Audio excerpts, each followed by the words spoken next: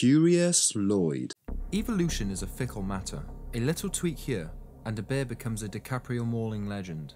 A little tweak there, and it's a pile of bubblery embarrassment that's too stupid even to hump its way out of extinction. A little tweak here, and human beings get some bizarre genetic mutation that makes us more susceptible to cancer. A little tweak there, and we get borderline superpowers. So I shall now explain the following mutations. There's an adventure gene, and you might have it. What made Columbus seek the New World?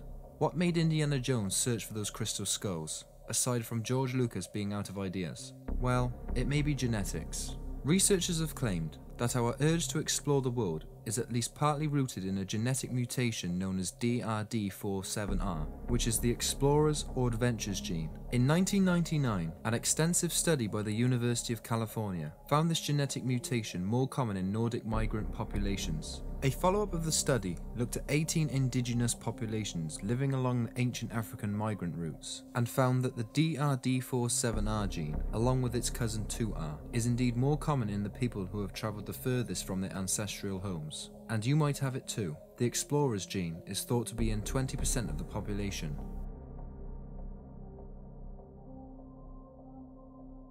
The Danish are genetically predisposed to happiness. Denmark consistently ranks as the world's happiest nation. But why is that? Researchers from the University of Warwick finally isolated a genetic mutation in the Danish population which grants them almost superhuman proclivity for joy. This gene exists in both short and long versions, with the long version causing happiness by regulating increased reuptake of the feeling good chemical, serotonin, and the shorter version causing neurosis and vague dissatisfaction. The Dutch and the Danes are the least likely populations to harbour the short-gened individuals. It's not tied solely to location. Danish derived populations born elsewhere still retain their giddy genetics, but it also works inversely, since Denmark is the genetic epicenter of world happiness. That means that the further a country is from Denmark's genetic composition, the more likely it's to be a miserable place. Residents of an Argentinian town have developed a tolerance for poison.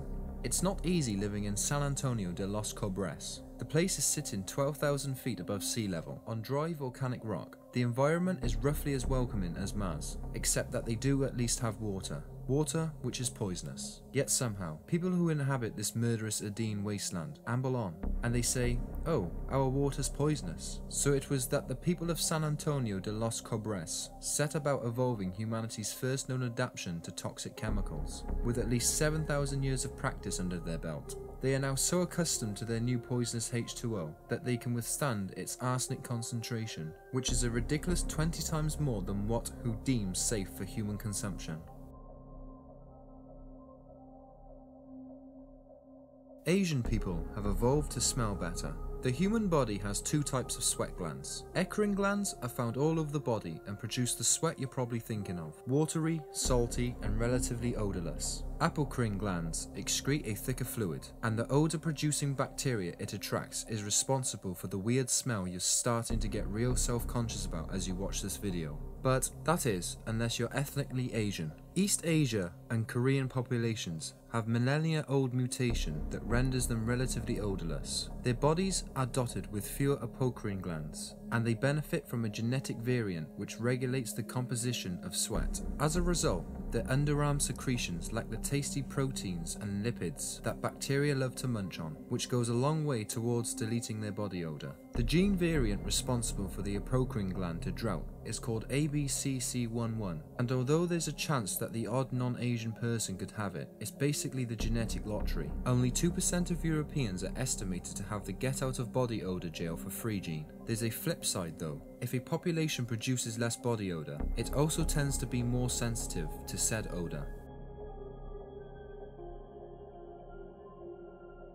The Inuit are genetically protected against bad fats.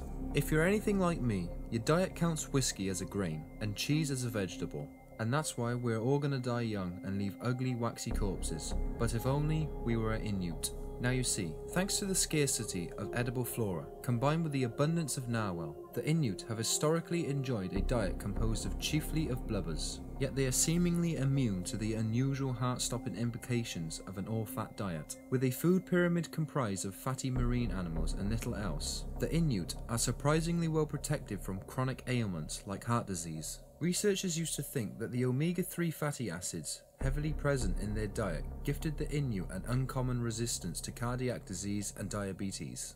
Also, fish oil purveyors have exploited to the tune of billions of pounds. To figure out the real reason Inuits' hearts don't just explode by the time they're 20, a Berkeley led study analysed the genetic differences between 191 Inuit Greenlanders and 60 Europeans and 44 Han Chinese. Almost all of the Greenlanders, as opposed to just 2% of Europeans and 15% of Chinese, turned out to exhibit a genetic mutation that limits the body's own production of omega fats. This in itself might seem like a bad thing, because omega fats are good for you, but by lowering their production, the body also lowers the production of bad, heart disease causing LDL cholesterol, because those processes are related. It's not all sunshine and rainbows though. The genes that control the fatty acid profiles are also implicated in height, so for their increased resistance to disease, the Inuit are an average of 0.8 inches shorter than the average person. But if you know what an average person is, please state it in the comments, because who is the average person?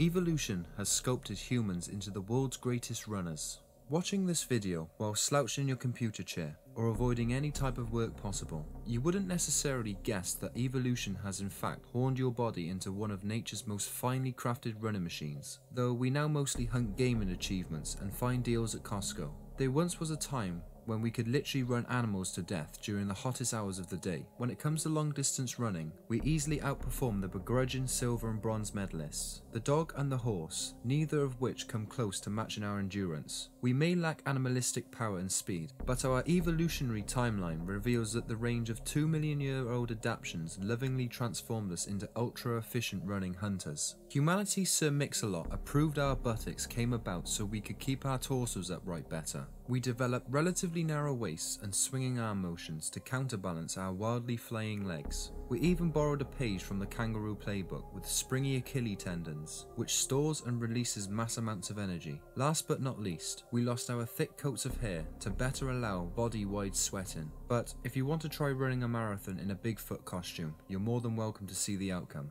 And that's just our engine and bodywork. The brain provides the nitro with a number of chemical codes that makes us actually want to run. When our leptin levels get low, which is the hormone that makes you feel full, they turbocharge the body, inducing an urge to find food and to go as far as you can in order to do it. And then there's the famous runner's high, which, shockingly, isn't a load of crap. Running was such an important facet to our evolution that our brain rewards runners by releasing natural narcotics known as endocannabinoids. If you enjoyed this video, give it a like and I'll catch you again next week.